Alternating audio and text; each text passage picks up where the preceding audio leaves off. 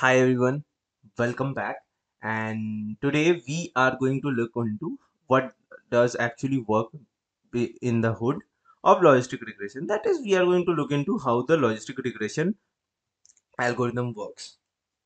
So, as I've told you before, that uh, basically it's the, quite the same thing, only that we have the uh, sigmoid function or the logistic which actually gives us the S-shaped line which help us in the binary classification. So we will look into how do we get it and what's exactly the sigmoid function. So we'll start from our hypothesis. So we will be having our hypothesis. Okay, this is our hypothesis and this will lie between 0 and 1, right? We have our binary classifier and our hypothesis, the answer of this hypothesis will lie between 0 and 1. Now, what is this exactly? H theta x. Okay, this is nothing but our sigmoid function. Okay, this is our sigmoid function.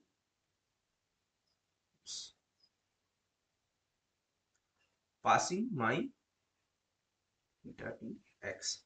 What is this? If you could just recall with our theta transpose x, if you could just recall from our uh, linear regression uh, algorithm, so this is basically uh, the equation for the straight line. Okay, we have theta naught plus theta 1 x plus theta 2 x. We have looked into this and we have bias term.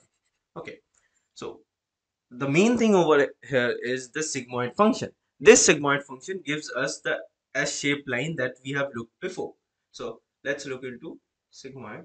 Let's take this as t. It is nothing but 1 plus the exponential term of minus t.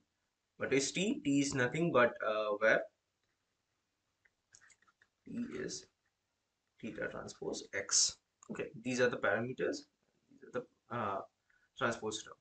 So after this, we can just write it as 1 plus e to the power minus theta t okay theta transpose x.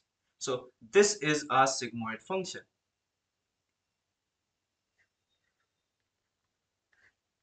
We can write this term in this format also. This is our sigmoid function. Complete. Okay our hypothesis is nothing but this current term. And this things give us this a shaped line? If we just check it out let's take below we have t.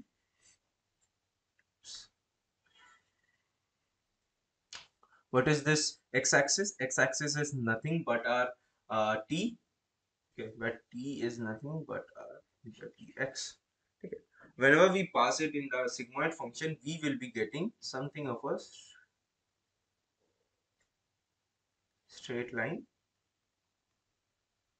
We get a uh, s-shaped line over here. And we have a threshold value. We have this threshold value.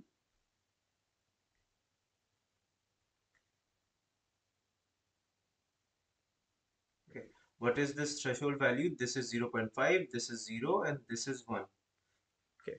What a sigmoid function does is anything that is uh, above this threshold value it will be counted as 1 okay.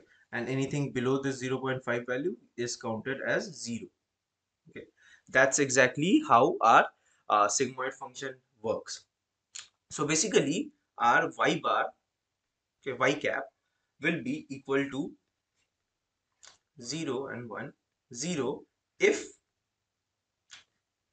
p cap is our what is p eventually only the uh, when i'm denoting p cap it's nothing but the hypothesis when p cap is less than 0.5 and if it is equals to 1 when it is greater than 0.5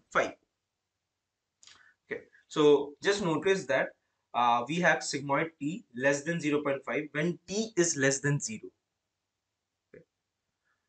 when t is less than 0 we have the sigmoid function. Uh, uh, sigmoid t is less than 0.5 and when sigmoid t is greater than equal to 0.5 then t is also greater than equal to 0 so a logistic regression model predicts 1 if our theta tx is positive and 0 if it is negative. Okay so a logistic regression algorithm is used for classifying data into discrete items